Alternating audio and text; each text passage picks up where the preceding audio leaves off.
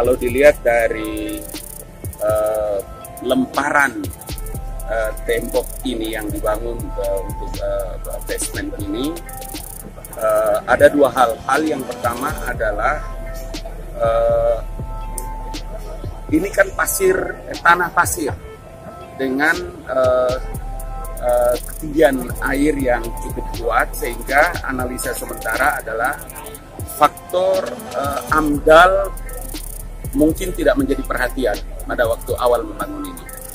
Ya, itu sementara dari BPPT. Yang kedua, kalau dilihat dari kekuatan penahanan seling yang tadi dijelaskan oleh eh, teman-teman uh, dari BPPT, ada uh, ketidakhati-hatian karena di tembok yang sebelah sana itu bisa memiliki kekuatan menahan, tapi yang di sini ada dua sling yang putus, yang putus sehingga dari tembok ini dan lemparan sana ada satu mobil apa satu crane yang terendam itu sekitar 50 meter.